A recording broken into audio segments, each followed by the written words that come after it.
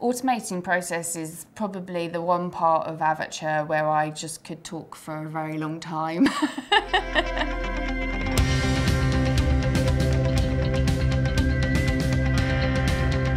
I'm Jen Corio. I am the Recruitment Operations Manager at BMC Software. Our reporting functionality was one of the, the main reasons that we bought the ATS. We use candidate data to really tell us on how we're getting to the market, um, tell us about the sources that are, are, are the most effective for us, um, how long has it taken us to get that talent engaged.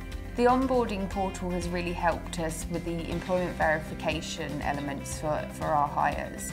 Um, we've been able to use the portal to upload documentation that can be of quite a sensitive nature.